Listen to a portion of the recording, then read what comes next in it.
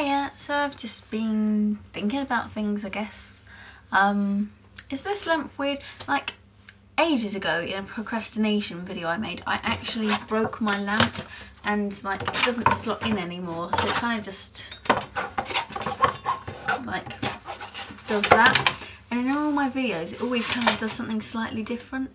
And, you know, I don't know why I'm worried about the lighting. It's, you know, it's not a high budget affair or anything. But uh, that's a good way to start a video once you haven't made a video for ages, isn't it? Just to ramble on about lighting and things. Anyway.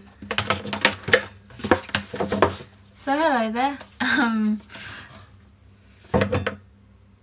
lamp's falling over. Anyway, so I've been thinking, I mean everyone thinks obviously, like I don't think it's actually possible to not think you know what, I can't think of anything to say, how appropriate. Anyway, I have been thinking, I think the lamp is better that way.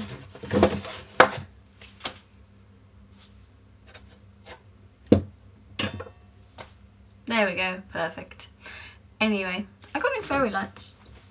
Anyway, um, so I haven't made a video in a while. Probably tell this isn't the smoothest of transitions. Um, bra's falling about as well. Um, this isn't the smoothest of uh, beginnings to a video in that this has probably taken so long. This will probably be near the end of the video by now. I just wanted to say hello. Um, lots of new things going on.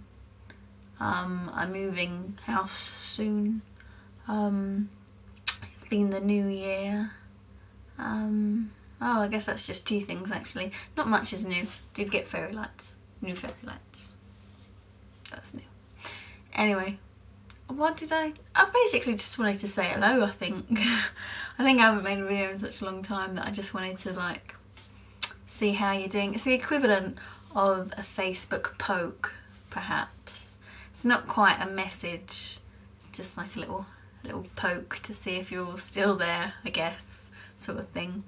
Anyway, have you ever noticed how shit roses are? Not the flowers, I mean the chocolates. If you're not in England, um, did I say England? Weird then? England? If you're not in England um, at Christmas, we have it's almost in my head at least it's a rivalry between Ro Cadbury's Roses and Quality Street and Quality Street is better. Not only does it actually have like quality in the name which is clearly classy and makes it brilliant.